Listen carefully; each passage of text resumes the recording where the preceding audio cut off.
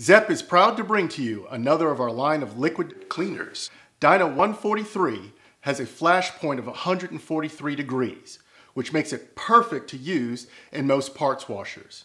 It's great for soaking or agitating parts as you clean them.